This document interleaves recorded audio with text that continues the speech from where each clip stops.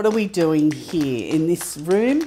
We're actually in one of the dormitories of the University of Tennessee in Knoxville competing against students from all around the world in different STEAM challenges and instant challenges. It's such an exciting place. Down the street is NASA. We have workshops in hip hop.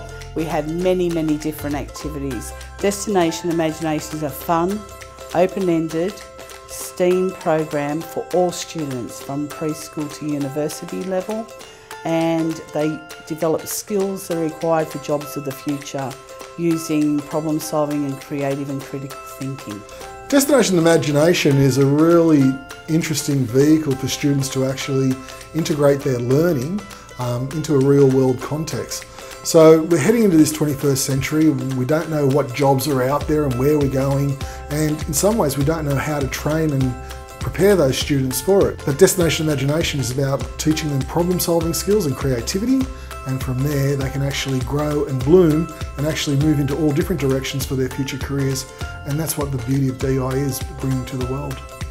The reason I chose to participate in DI was to learn about not just science and all that stuff like engineering and to learn about like how to do more things and learn about other cultures and like meet people like we, we met astronauts we met people that make sounds for movies all that kind of stuff i wanted to enter destination imagination because i just thought it would be a great experience overall and i know it has been because i've learned so much destination imagination is a celebration of creativity and as a team, I think all together with all our skills put together, we're a very creative team.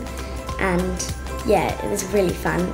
From a student and a person's perspective, DI has changed me like dramatically. Just being able to see that I can do anything. you you set the boundaries and um, until you expand the boundaries, that's when you find out what you can really do. For us, this was incredible. Um, we would do anything in the world to have this experience again.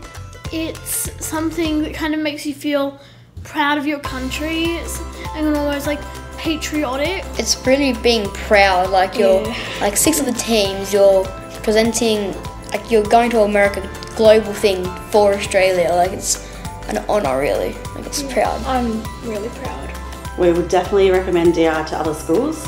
Just um, seeing the buzz in our students. I think it's brilliant and I definitely would recommend it to other parents. From the educational point of view, um, every day they're doing something new.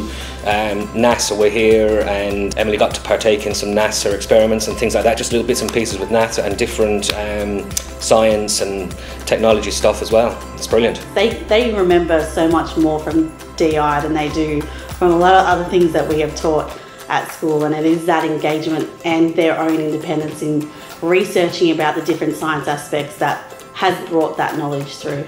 The buzz from the students, it's so exciting to see their faces light up as soon as you mention DI. So, yeah, definitely do it.